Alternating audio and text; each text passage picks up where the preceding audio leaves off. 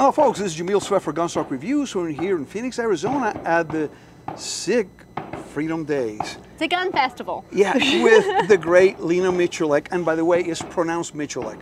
It is. It is. It's a facts. Unless you listen to Dad say it more than one time because he even says it different ways. Did you know that? Y- Yeah, You yeah. can't really just say it how you want. It's gonna Yeah, be okay. And I can tell you, I've known this young lady since she was, before she was born.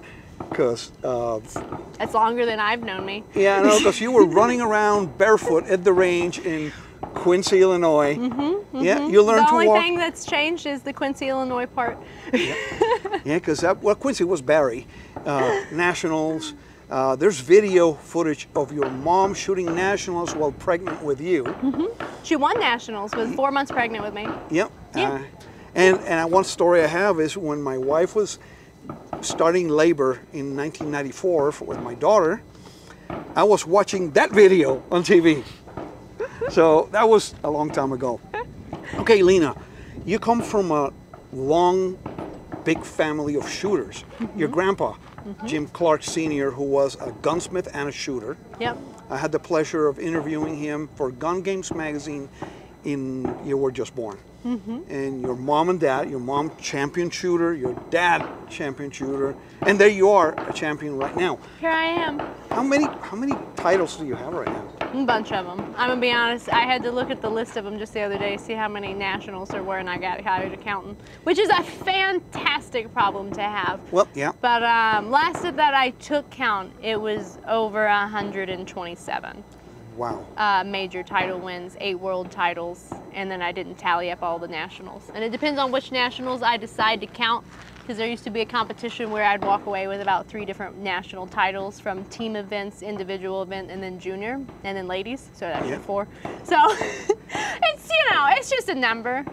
But it was it has been a, a great career, and you have special and specialized, I would say, focus more on three gun, right? Um, for the first seven years of my career, uh, three gun is what made me fall in love with the shooting sports. Before then, I was unwilling to make the commitment that I knew it would take to be at a level that I could even think about doing this professionally. Then I found three gun. And uh, the controlled chaos of it, the fact that it's a true juggling act, like you cannot be a perfectionist, you just have to survive the best Mm-hmm. uh, made me fall in love with it. So I did that for seven years, and then PCC, pistol caliber carbine, really came into mm-hmm. USPSA, and I shot the very first nationals, and I fell in love with that and was looking for a switch up. So really, for the past three years, I've specialized in PCC and mm-hmm. hadn't shot a three gun match for that entire time until about a month ago. I went back. Decided mm-hmm. I was going to give myself 30 days to return to three gun nationals mm-hmm. after not shooting for three years. And I was able to walk away with I, one of my most proudest achievements, which was the highest overall placement of a woman in multi-gun nationals That's history. awesome. So that was that was a really cool thing, and this fact that I only gave myself 30 days and just kind of the mental doubt that you go into it with that and from switching platforms to having not competed with a shotgun or a rifle or even a pistol in those that many years and just being like no it's what i'm going to do deep dive in and then did the best that i really have ever done And other than competition, what other interests do you have in the shooting industry? Um, I've been instructing a good bit. Um, that is going to be one of the biggest changes. I've really gotten to a point, kind of personally, where I look out into the world and I see a lot of turmoil and I see a lot of people living in fear, mm-hmm. and I, it rips me apart. Mm-hmm. And I have a very specific skill set and ability. And I've really sat and tried to figure out how I can best use that to better the world and better individuals. And for me, that comes down to instructing, but not only that, because I have a very unique connection with companies and with the consumer. So I'm really taking on my behalf to start developing products, educational programs, and instructing for the people that are on the fence of shooting. Like, if you already own guns and you're a passionate gun lover, like, thank you, I appreciate you. But I want those people that are intimidated, those people that don't really understand, because the gun industry has a really bad uh, a bad stigma, and also it's really bad about talking to people like they're already supposed to know. Yes. Mhm. And that's just kind of unacceptable. So Yeah. I'm ready to take a fresh look at it and do all that I can to help people find the confidence to defend and arm themselves. Well, that's excellent. And one thing that I have found is that we sometimes we are our own worst enemy in the shooting industry. That, like you say, we expect people to know what we know, and we're not willing to say, hey, you know, and, and talk to people, not talk down to people. And it's just little things like, uh, like a slide, you know, like lock your slide back, and just I don't know. We just throw out terms and other things that we just don't fully explain. I don't know. I, there's a whole big old list of them that I'm trying to work on, but we just have to talk to people like Yeah. they're starting at the ground up. Like you would actually need to be talked to. Well, well like Ah. you, when you and your dad came to Gunsite with Mossberg a few years back, Mm-hmm. you were talking to a bunch of old farts. But you weren't talking down to us. You would describe the way you shoot and the way to hold a shotgun and The way that I hold a shotgun. the way you hold shotgun, but you you Yeah. help us But do things more efficiently. Mm-hmm. Yeah, my hope is to always be able to share what I do, but most importantly, the reasoning behind it. Because if mm-hmm. I, I first have to convince myself and prove to myself that every single technique and every single thing that I do is truly the best, and that's only through rigorous questioning. It's not mm-hmm. like I like to do this.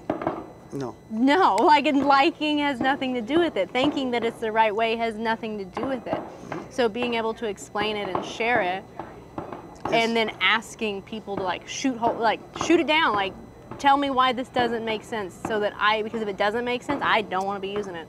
No. I want something better. Oh, And, so, and yeah. everything you taught us at that one couple of days that we were there was really helpful. Well, to us because uh, yeah, I have shot shotgun before competitively, but I'm not good at it. I suck at it. But it was great to learn, and and we were, mm, you know, mature enough to say, yes, that young lady is teaching us how to do things right. And I hope that you continue to do that with everybody, all walks of life.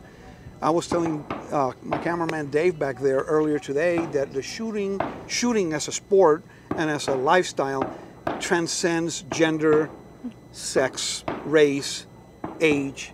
Is it should include all of us.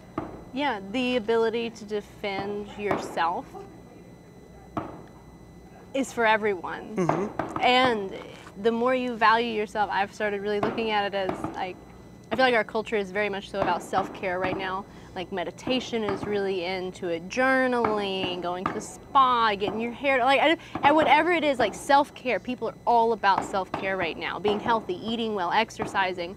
You can do all those things, but like for me, the biggest step you can take in self care is protecting yourself. Mm-hmm. And it is intimidating and it's not easy. Like I've shot my entire life and when I turned 21, I was like, all right, cool, concealed carry. I'm just gonna take this gun that I know how to shoot every which way. I'm gonna put it on my purse, I'm gonna walk around, no big deal.